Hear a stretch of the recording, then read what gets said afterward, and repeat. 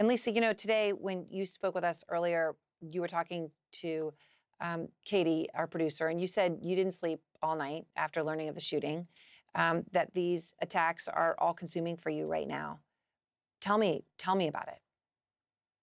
Well, Erin, eh, when it seems like it's open season on people who look like me, who look like my parents, who look like children, my my children, it's it's really hard to think about anything else. I mean, I've been on these text chains with leaders in the Asian community and and we've been on all day every day for the last few weeks. Frankly, we've been been communicating about this for the entire year. And and every time it seems that I open my social media or my media, I'm seeing and hearing about more attacks on Asian people. And and frankly, I am right now just sick of seeing the face of the man who massacred eight people last night. In fact, I had to scour the internet for the names of of uh, the people he killed. And according to the New York Times, I just have to say their names: uh, Delaina Ashley Yaun, Xiaojie Tan, Dao Yu Feng, Julie Park, Park Hyun John, and Paul Andre Michels, who, who's not Asian. And there are two more people who were killed whose names I haven't been able to find.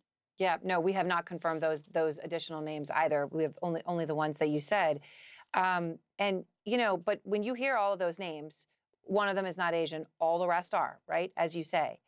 Um, the suspect claims the shootings were not racially motivated, and that's what investigators told us today. They said that's what he says. But Six of the eight victims were Asian women, period. These were Asian massage parlors.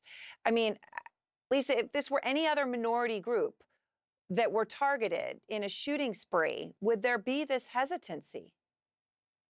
Well, that's the question that we're all asking. I mean, Erin, when you think about it, if this were a synagogue or a black church, there wouldn't be a question.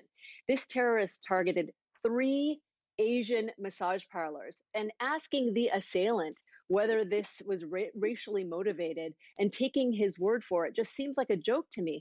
I mean, we know that this is definitely a hate crime against women that we know. Yeah. And by the way, as you said, this just this happened days after a 75-year-old Pak Ho, uh, an elderly man in the Bay Area was was brutally attacked and and and and as you mentioned, there have been numerous attacks even since then. So just a few days ago, I spoke to a restaurant owner in Texas, Mike Nguyen, and he's been on the show over the past, you know, many months. Lisa, and he's had anti-Asian slurs painted across his building. The words "Kung Flu," "Hope you die," uh, all of these horrific things. And they came after he came on the show, a few days before that, because he was criticizing the decision to the, lift the mask mandate in his state, right? And because he, he, was concerned for his restaurant. Um, go back to China. Those are the those are the things that were scrolled all over his restaurant. Here's what he told me. There is a concern that this is going to escalate to something worse. You know, I mean, what, what's the next step they can do? And that's going to be physical harm or something. You know, even death for me. So he predicted something like this could happen to him, and and because of his race, and then it did. I mean, why is more not being done? It's it's like this is the threats are there, it's happening, and yet it it still happens. Well, uh, look, things don't happen in a vacuum. Attacks against Asians are happening. They have been happening all over this country. This terrorist in Atlanta knew what he was doing. The people who are attacking Asians know what they are doing. And it's time for law enforcement and our intelligence community to start rooting this out.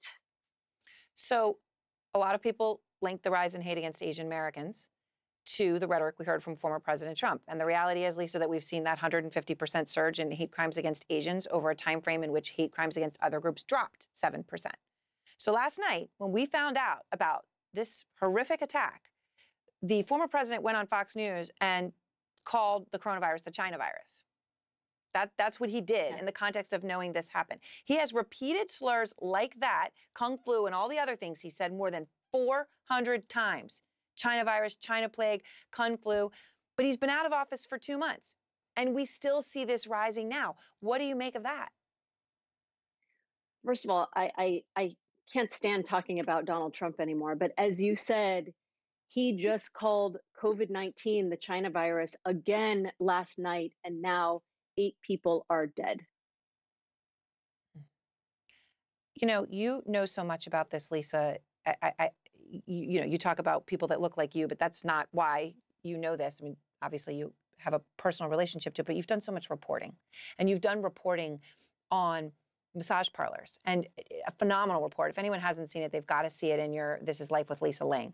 But you detail the dangers that these women face every single day across this country. Did you ever think, though, that we would see something like this? Look, first of all, it isn't certain that the women who were killed were sex workers. They may have been mas- masseuses. I mean, there's a lot of talk about how this guy was was was going for sex in these places.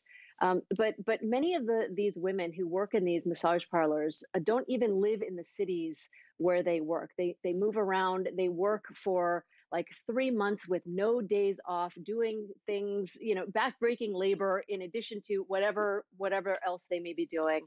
Most of them uh, are are here without their families. They're trying to make money to send home to their families. Uh, they already are working in a dangerous profession, made more dangerous by COVID, and and they're even working uh, during this pandemic because they're desperate and they they need to work. They need to be able to make money. And with the stigma attached to Asian people right now, I can't think of anything more deadly than what these women have been doing.